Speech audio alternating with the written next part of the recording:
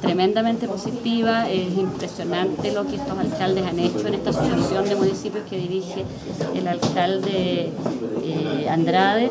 porque aquí tienen una mesa de trabajo que lo que hace es unir eh, y aunar los esfuerzos de los distintos municipios y ponerlos ante la autoridad, tanto la autoridad de la Dirección del Servicio de Salud como en este caso el Ministerio de Salud, que permite hacerse cargo de una realidad que es distinta al resto de la realidad del país. Así que vamos a seguir trabajando, hemos recibido a los alcaldes también solicitud de apoyo en otros ámbitos.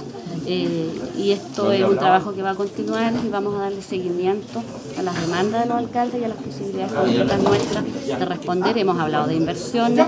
y por cierto que estamos comprometidos a desarrollar los proyectos de Quillón y de Ancún, como ustedes saben, pero también de iniciar los proyectos y los estudios de los hospitales Chao y de